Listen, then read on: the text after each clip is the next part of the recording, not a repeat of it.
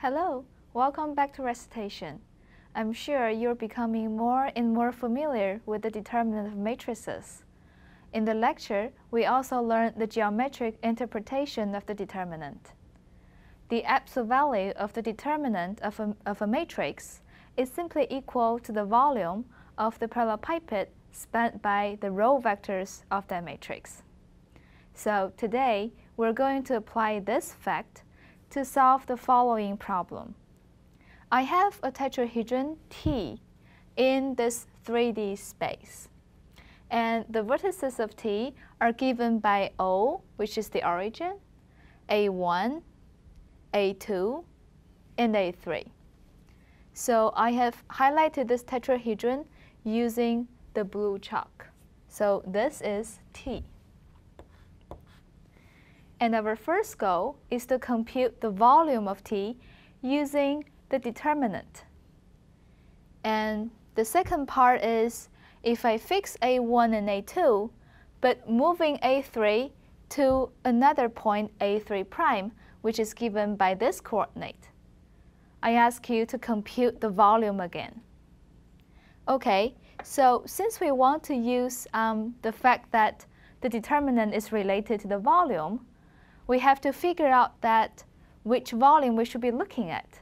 We know that the determinant is related to the volume of a parallelepiped, but here we only have a tetrahedron. So the first goal should be to find out which parallelepiped you should be working with. Okay, why don't you hit the pause, try to work it out yourself.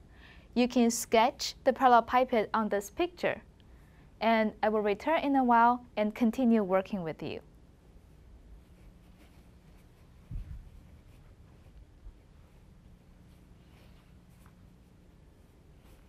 All right, how did your computation go? Now let's complete this picture together. As we were saying, we need a parallelepiped so that we can use the fact that the determinant is related to the volume. Here, I have a tetrahedron.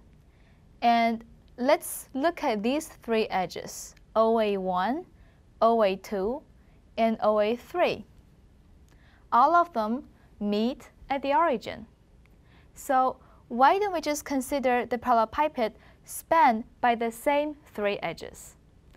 It's a natural choice because at least it shares three edges with T. Okay, now let's move on to this picture here. As you can see, I have drawn this parallelepiped in red chalk. So the blue part is my original T. And the red part, let me call it P, is the parallelepiped spanned by edge OA1, OA2, and OA3. So that's the parallelepiped that I'm going to work with. Now, the next step is to relate the volume of T to the volume of P. Okay, let's recall together what is the volume of a tetrahedron. We know that the volume of a tetrahedron is going to be equal to one-third of the area of the base times the height, right? Of course, you can choose any side, any face to be the base.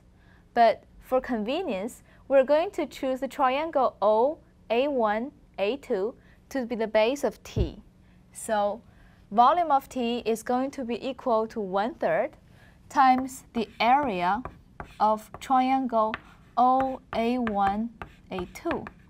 So I use this A to indicate the area. Then times the height. Well, if I choose this to be my base, then this A3 becomes the apex. Then the height is simply equal to the distance from A3 to the triangle OA1, A2. Let me use letter H to denote this quantity. So that's the height.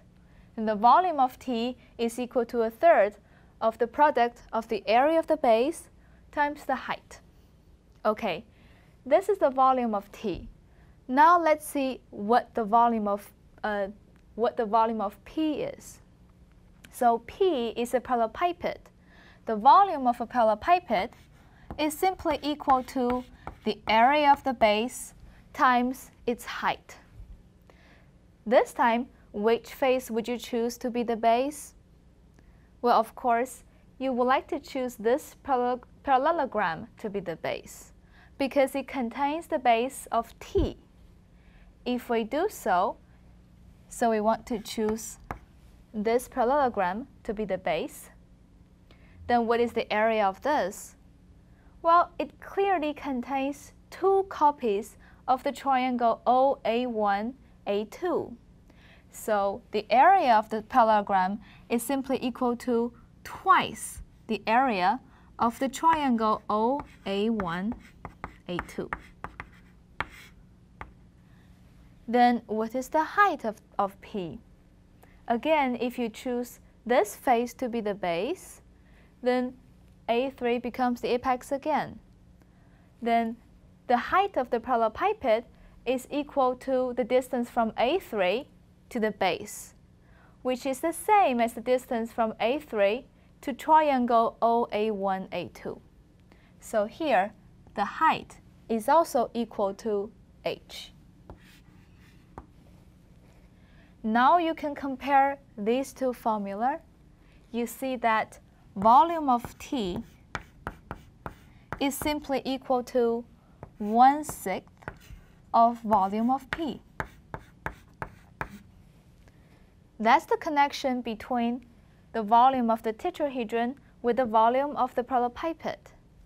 In order to compute volume of T, we only need to compute the volume of P. Now let's compute the volume of this parallelepiped. We know that it's related to um, the determinant of a matrix. And the row vectors of that matrix are given by these three edges. So because all of them start from 0, we only need the coordinate of A1, A2, and A3.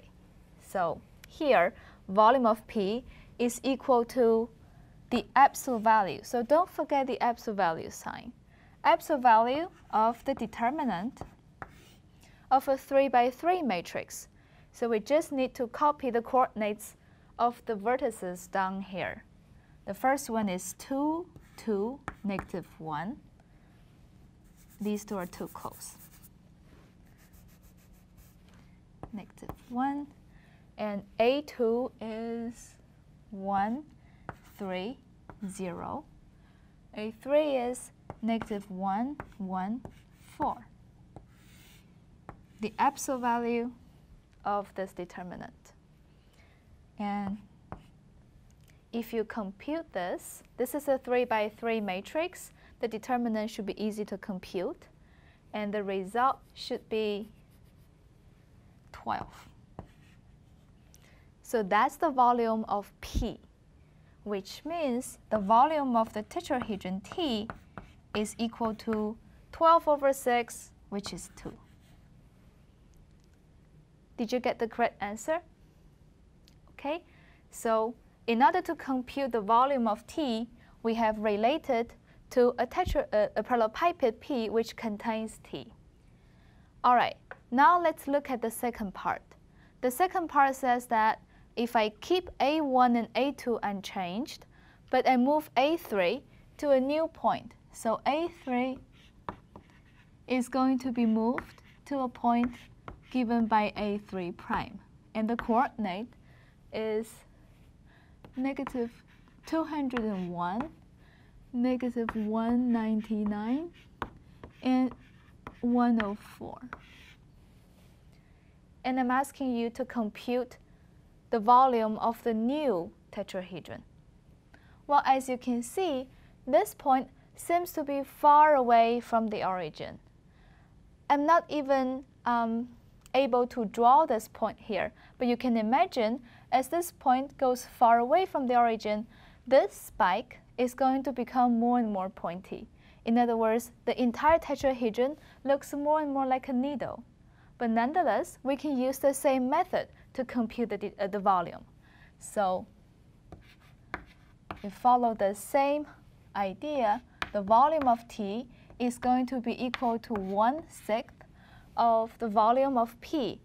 And in this case, that's going to become the absolute value of the determinant of a 3 by 3 matrix whose row vectors are given by these three edges. So in this case, we again copy down the coordinates of three vertices. The first one is 2, 2, negative 1. Second one is 1, 3, 0. The third one should become this. So negative 201, 199, 104. Okay, that should give me the volume of the new tetrahedron. Let me call it T prime, just to differentiate it from the previous tetrahedron. And of course, you can compute this determinant explicitly. If you do so, you will see the answer should be 2 again. But in fact, there's a way that you can just read out the answer directly without any um, real computation. Let's pay attention to the last row. In other words, let's pay attention to this new A3, well, A3 prime. What do you observe here? A3 prime, if you consider the difference between A3 and A3 prime, in other words, if you consider how much you have moved your apex, you will see that's equal to negative 100 A1 right? So A3 is negative 114. A3 prime is this. That's exactly equal to negative 100 times A1. What does that mean? Well, from the point of view of matrix, you are subtracting from the original third row 100 times the first row. But this, is, this row operation does not change the determinant. In other words, you know that this determinant should be the same as the previous one, so you can write out 2 directly. From this picture, we can also see that fact. So from this picture, we know that this section is saying that I need to move A3 in the inverse direction of A1 by 100 times A1.